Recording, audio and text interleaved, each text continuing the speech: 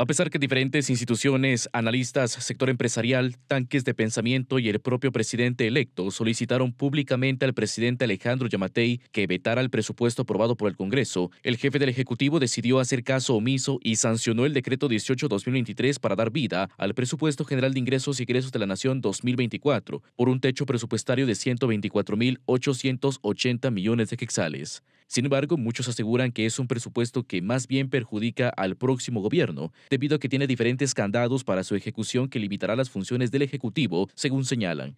Durante su discurso en la Escuela Politécnica, el mandatario de la Nación dijo este viernes que el presupuesto fue sancionado el pasado jueves y publicado este viernes en el diario oficial. Un ejército que cuando entré tenía dos helicópteros.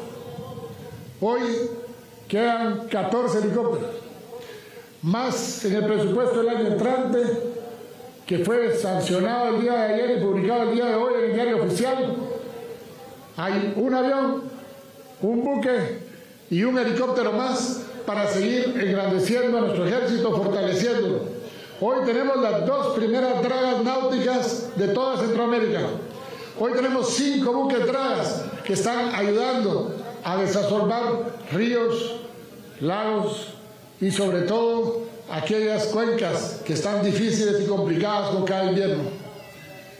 Hemos dejado nuevo equipo, hemos dado al soldado la bolsa del soldado.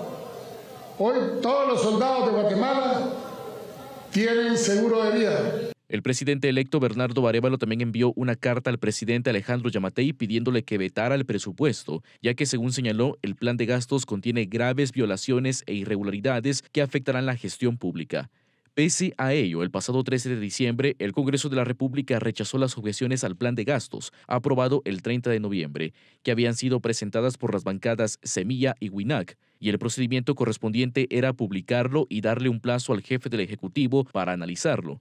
Pero la mañana de este viernes 15 de diciembre, el presupuesto fue publicado en el diario oficial con la firma del presidente, lo cual quiere decir que Yamatei se tomó menos de 24 horas para analizarlo y sancionarlo.